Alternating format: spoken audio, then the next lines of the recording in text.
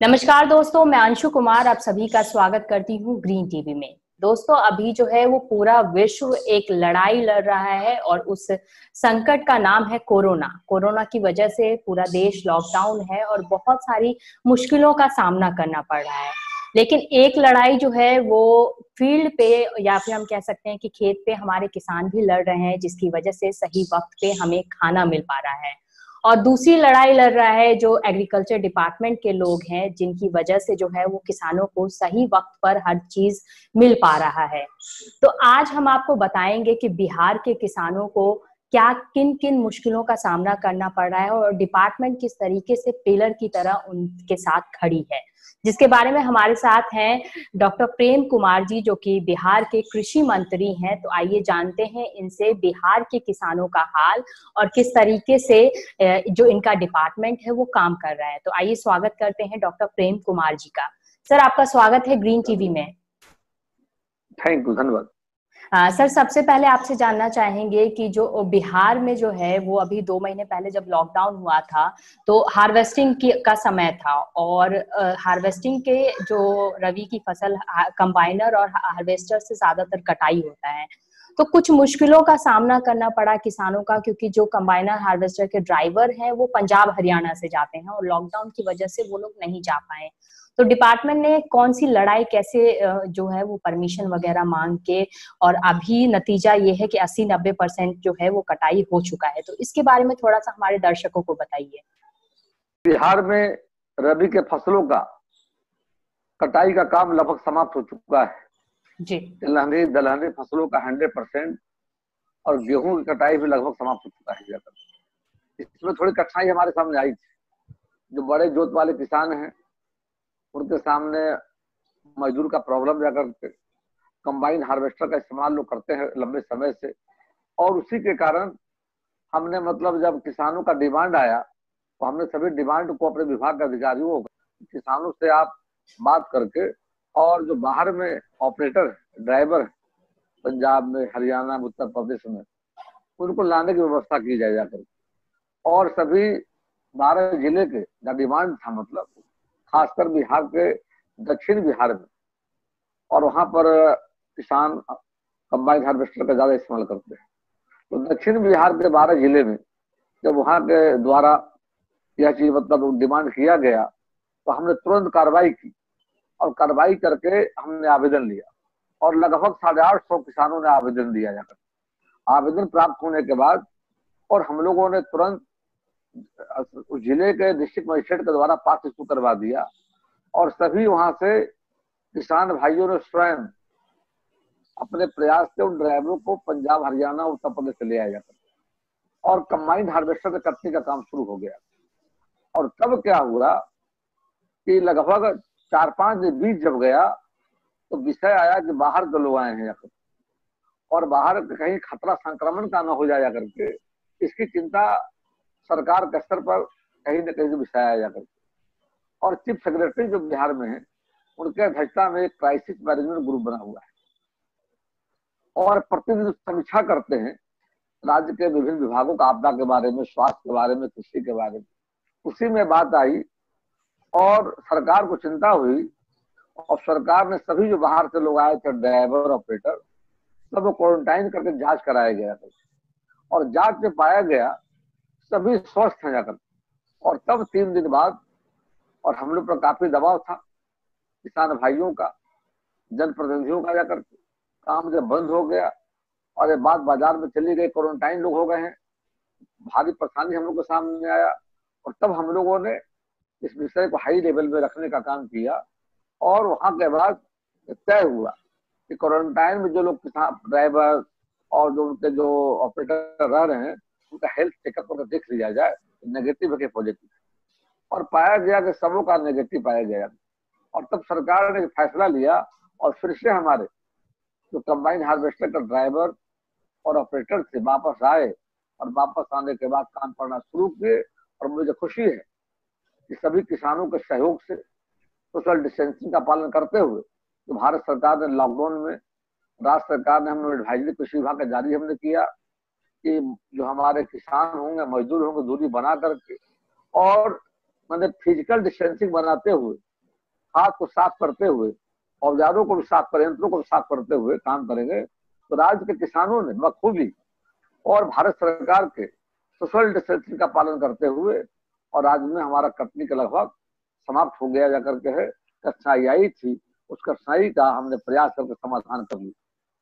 जी sir अभी जो है अभी सारे व्यवसाय हाँ जी। मैं मैं इस मौके पर हम राज्य के तमाम अन्नदाता किसान भाई बहनों को हम कहेंगे उनको बधाई देंगे। और ताकि उन्होंने काफ़ी परिश्रम मेहनत करके और उन्होंने जिस तरह से सारा रबी के फ़सलों का कटाई करने का जो काम किया है इसके लिए उनको बधाई देते हैं शुभकामना देते हैं। हमारे किसानों ने इस संकट के घड़ी में देश के लिए लोगों को भोजन की चिंता जो हम करते हैं, उसकी चिंता उन्हें भी खींचा करके और समय पर सभी अपने दलहनी, तिलहनी और गेहूँ के फ़सलों का समय कटाई करके लाने का काम किया है, इसलिए बधाई के पात्र हैं। किसानों को बधाई धन्यवाद देते हैं।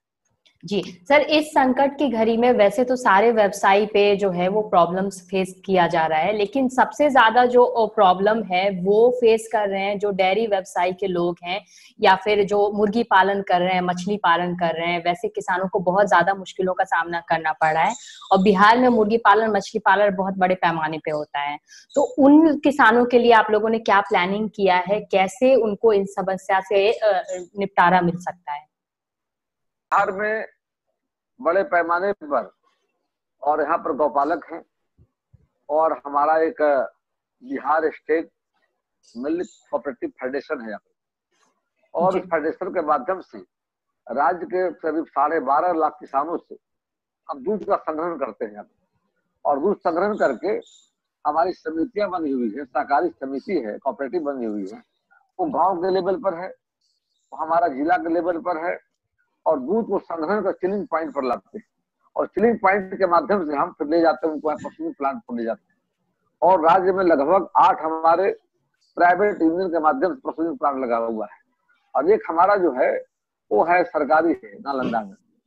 और वहाँ प्रोसेसिंग करके हम दूध से छाछ है, लस्सी है, घी है, मिठाई है आइसक्रीम बनाने का काम करते इस लॉकडाउन के पीरियड में जब वैश्विक कोरोना महामारी का संक्रमण उत्पन्न जब स्थिति हुई जा करके, एक बड़ा संकट था जाकर तो थोड़ा समय लगा संभालने में, लेकिन हम लोगों ने जो मजदूर वापस चले गए तो उनको वापस लाने का काम किया गया।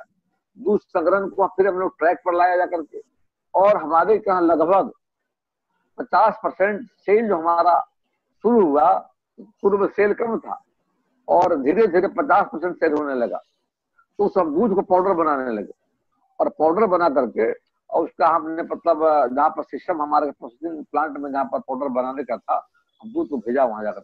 लेकिन जो वर्किंग कैपिटल हमारे पास था, वो ब्लॉक होने लगा जाकर। और तब हमने मतलब सरकार में इस बात को रखा जा करके समय बढ़ाया जाए उनका। और हमारे प्रयास से, हमने जो प्रयास डिपार्टमेंट ने किया तो दो घंटे समय बढ़ाए गए। उसे सेल हमारा बढ़ा, और सिक्सटी परसेंट सेल होने लगा। और सेल्स का पाउडर बनाने लगे और बाकी जो क्वार्टर बना है, उसको क्वारंटाइन सेंटर में भेजा जा रहा है। वहाँ जो लोग ठहरे हुए हैं, आंगनबाड़ी में भेज रहे हैं जाकर के हैं, और आगे भारत सरकार से बात कर रहे हैं कि जो डेयरी डेवलपमेंट कॉर्पोरेशन है, इस संकट की घड़ी में हमें थोड़ा मदद करे, ताकि जो किसानों का हम पेमेंट करते हैं हर दस दिन तो पेमेंट का साइकिल जो हमारा है, गड़बड़ा नहीं जाए उसके लिए बात चल रही है, और आज सरकार से बात चल रही है।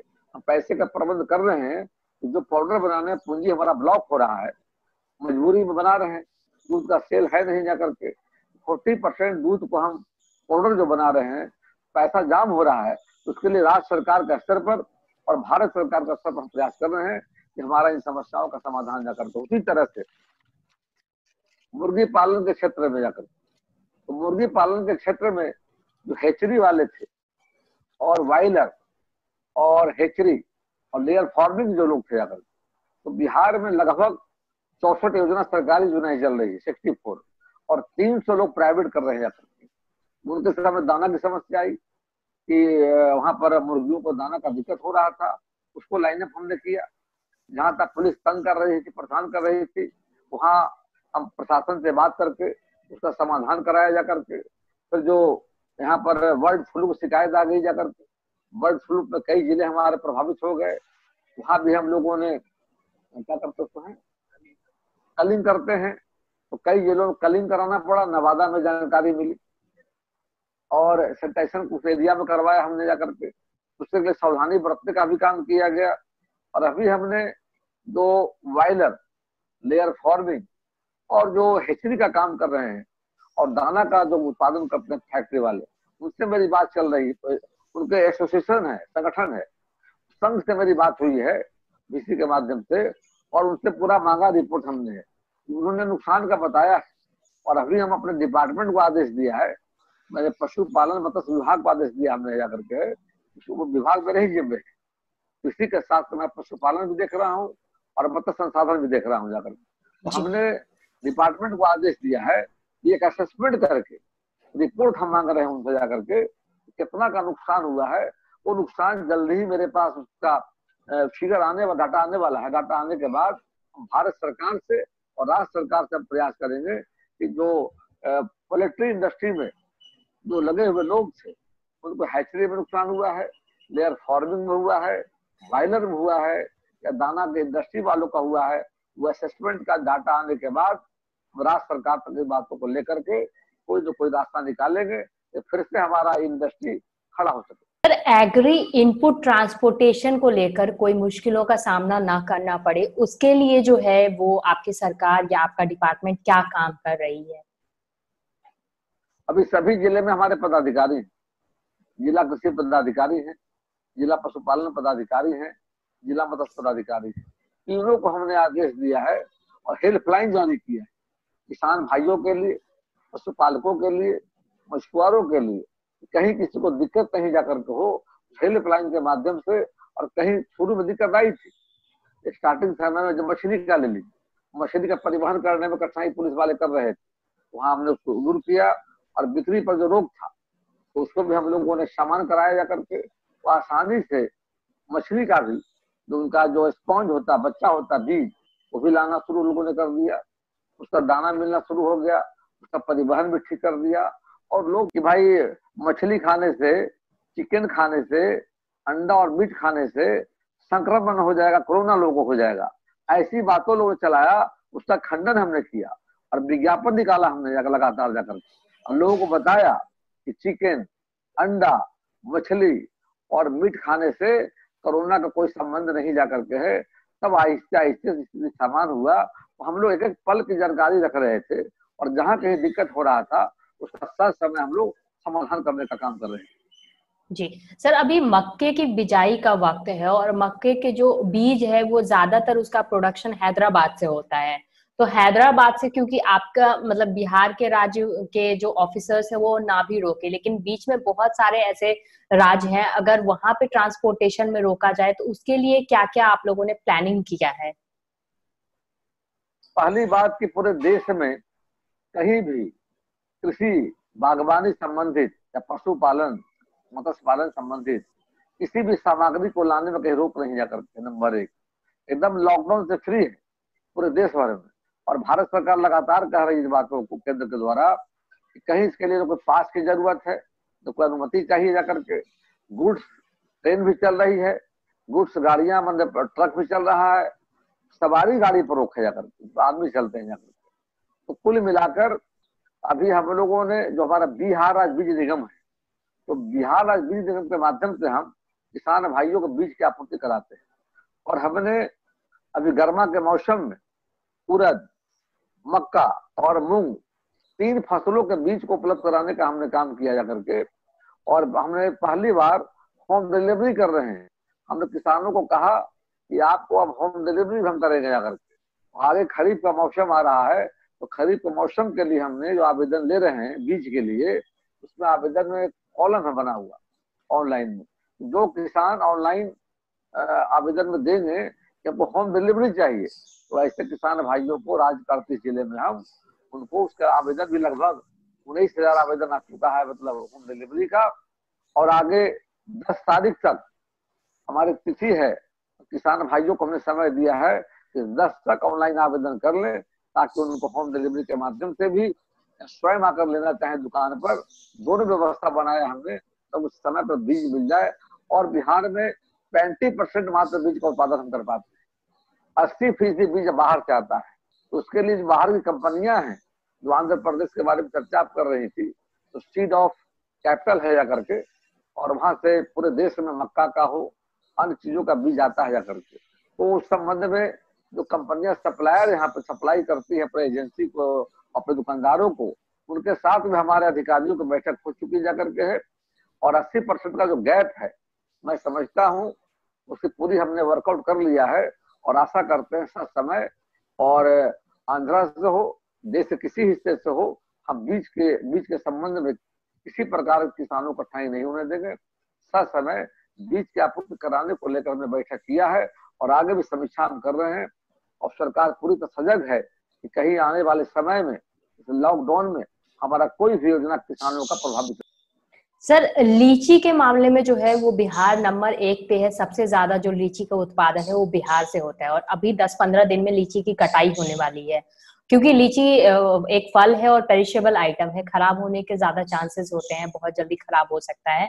तो उसको सही वक्त पर मार्केट तक पहुँचाया जाए और खासकर जो दूसरे राज्य में भी लीची जाते हैं, वो बिहार से ही जाते हैं, वो हो, उसके लिए आप लोगों ने क्या तैयारी किया है?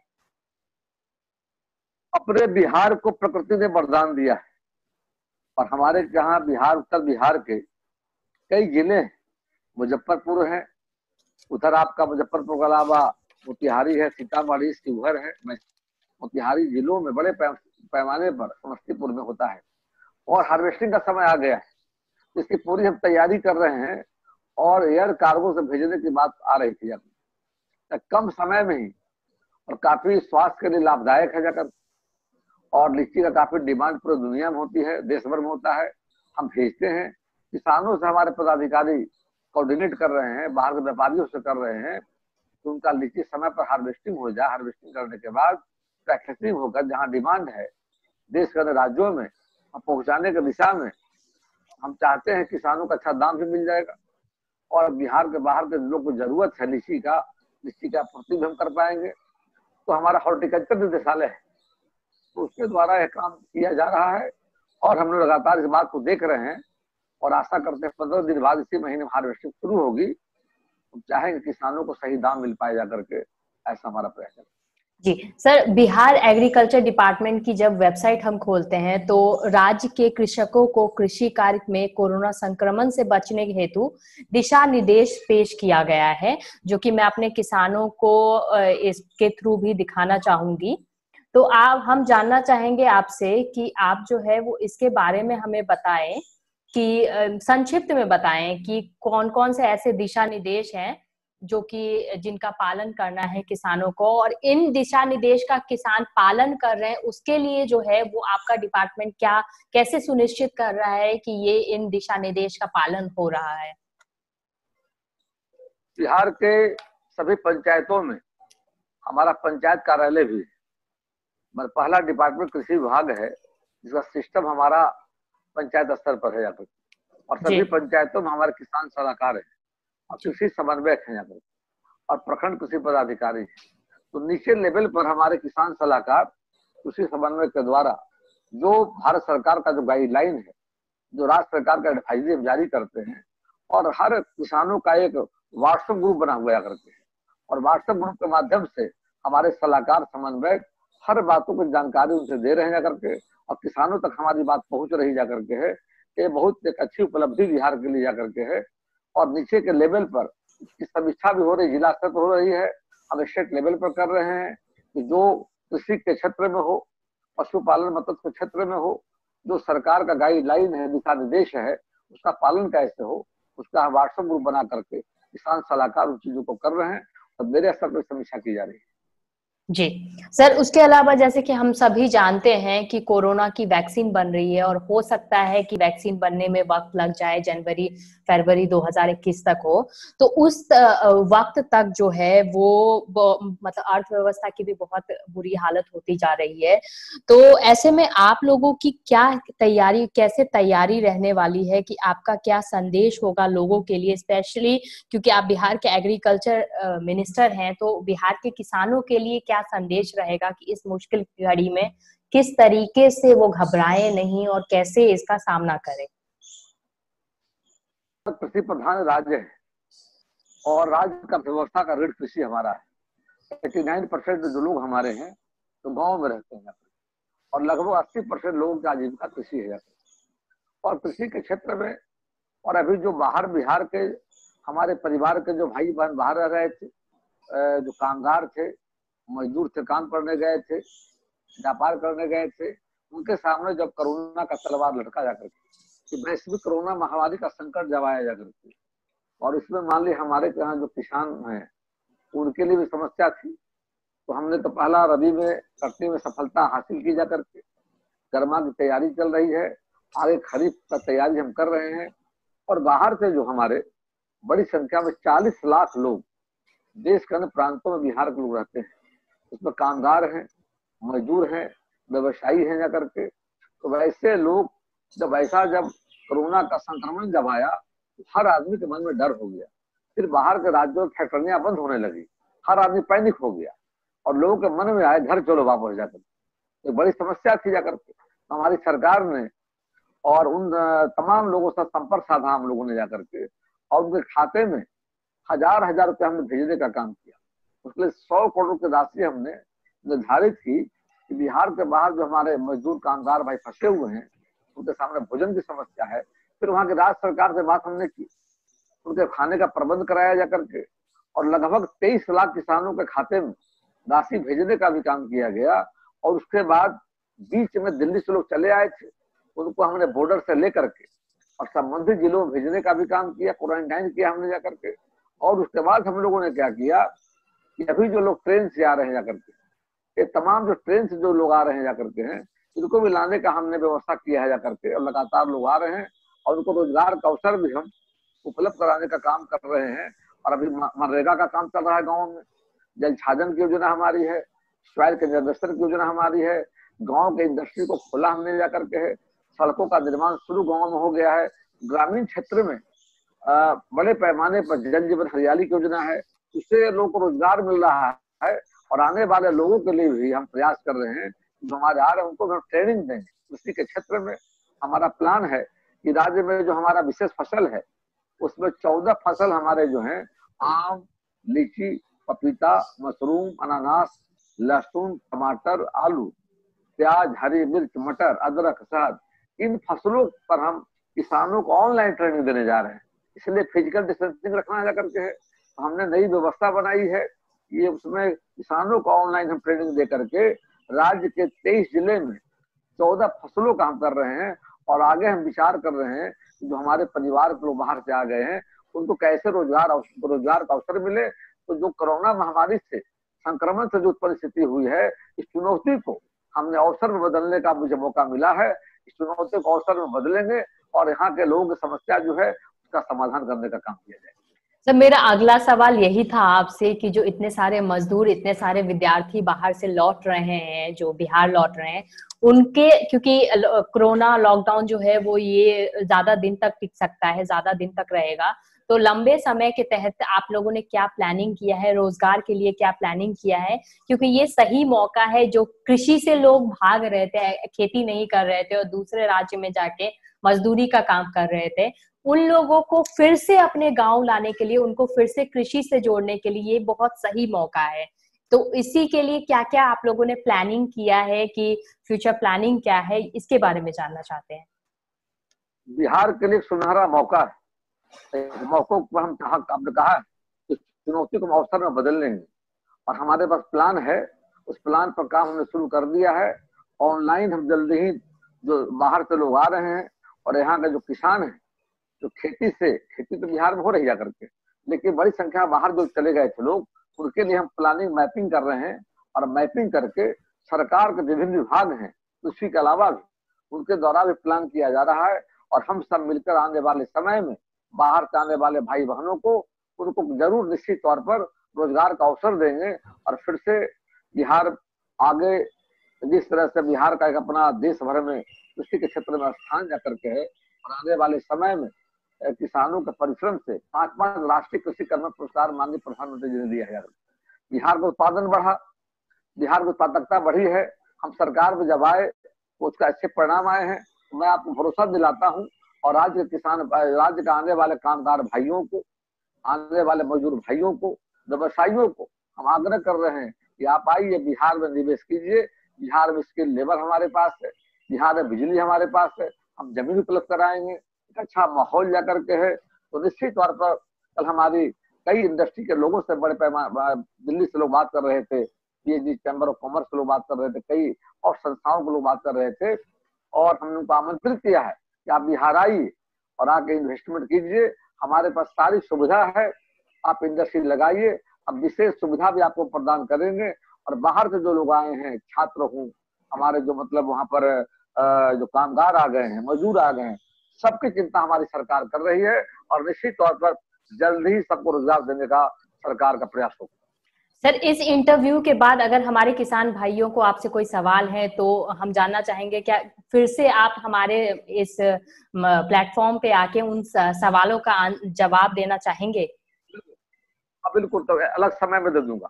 जी। ग्रीन टीवी के थ्रू आप हमारे किसानों को क्या मैं संदेश देना चाहेंगे, खासकर बिहार के किसानों को? काफ़ी खुशी हो रही है ग्रीन टीवी के साथ हमारी आपसे बात हो रही है करके है, और किसानों को संदेश देना चाहेंगे कि आप निश्चित तौर पर हमारे जो राज्य के किसान हैं ग्रीन टीवी को देखें, उनको सही जानकारी मिलेगी, और आप भारत सरकार की योजनाओं को राज्य सरकार की योजनाओं को जन जन तक किसानों तक तो ले जाने का जो प्रयास कर रहे हैं, इसके लिए हम किसान भाइयों से आग्रह करेंगे कि आपके ग्रीन टीवी से लोग जुड़े जा करके और आपने जो आज कार्यक्रम आपने दिया इसके लिए आपको मैं बधाई और धन्यवाद देता हूँ। बिहार सरकार को। सर आपका बहुत बहुत आपका बहुत बहुत धन्यवाद हमसे जुड़ने के लिए और इतनी सारी काम जो है इतनी सारी योजनाएँ किसानों के लिए स्टार्ट करने के लिए। थैंक यू तो दोस्तों, हमने आपको मिलवाया डॉक्टर प्रेम कुमार जी से, जिन्होंने बताया कि बिहार के किसानों के लिए क्या क्या योजनाएँ कर रहे हैं और साथ ही में ये भी बताया कि फ्यूचर में क्या क्या प्लानिंग है और जो मजदूर वापस आ रहे हैं, जो विद्यार्थी वापस गए हैं, बिहार गए हैं, उनके लिए इन लोगों ने क्या क्या योजनाएँ तैयार किए हैं क्या क्या फ्यूचर प्लानिंग है। तो फ़िलहाल आज के इस कार्यक्रम में बस इतना ही। मुझे दीजिए इजाज़त। आप बने रहिए हमारे साथ और देखते रहिए ग्रीन टीवी। नमस्ते।